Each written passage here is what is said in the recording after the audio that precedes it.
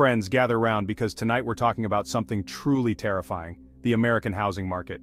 It's not exactly a sexy topic, I know, it's about as exciting as watching paint dry. But unfortunately, this paint is also on fire, and we're all trapped inside the house. The reality is, America is facing a housing crisis of epic proportions. We're talking record-high prices, crippling rents, and a dwindling supply that would make even the most optimistic realtor weep into their commission check. Think of it like this. Remember that game musical chairs? Well imagine there are way more people than chairs and the music never stops. That's pretty much the housing market in a nutshell. Now I know what you're thinking, this isn't news, we've been hearing about this for years. And you're right, you have.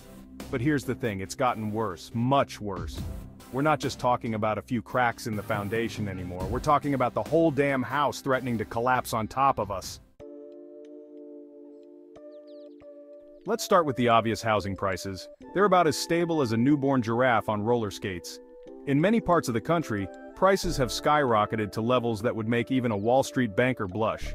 We're talking increases so high, they make inflation look like a casual observer, just along for the ride. But here's the real kicker. Wages haven't kept pace. In fact, for many Americans, wages have barely budged.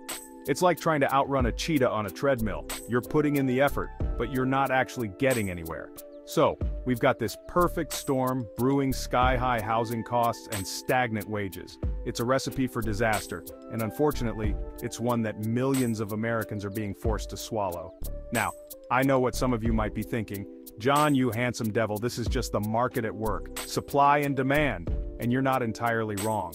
But here's the thing, this isn't just about economics, it's about people. It's about families being priced out of their homes, young people giving up on the dream of ever owning a place of their own, and a growing number of Americans being pushed to the brink of financial ruin. Now let's talk about inventory, or rather, the lack thereof. You see, it's not just that houses are expensive, it's that there aren't enough of them to go around.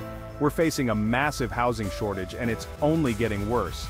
It's like trying to find a parking spot in New York City on a Saturday night. Good luck with that. This shortage is driven by a number of factors, including restrictive zoning laws, a shortage of construction workers, and good old-fashioned greed. And the consequences are dire. With fewer homes available, competition increases, prices get jacked up even higher, and the American dream of homeownership starts to feel about as attainable as a pet unicorn. So, what's the solution? Well, it's complicated. We need to build more affordable housing, plain and simple. We need to reform zoning laws that prioritize McMansions over modest homes, and we need to address the underlying economic inequality that's fueling this crisis. It's a tall order, but hey, we've tackled big problems before. Remember that time we put a man on the moon? We can do this. Now I know this is where things get a little bit tricky, because we're about to wade into the murky waters of immigration. And let's be clear, immigrants are not the cause of the housing crisis. Blaming immigrants for complex economic problems is like blaming the mailman for delivering your junk mail. It's misguided and frankly, a little bit lazy. However, it's also important to acknowledge that immigration, both legal and undocumented, does have an impact on housing. When more people move to an area, it creates a greater demand for housing which, in the context of an already strained market, can exacerbate existing problems. It's like trying to fit 10 pounds of potatoes in a 5-pound sack. Something's gotta give. Now, I'm not saying we should close our borders or turn away those seeking a better life.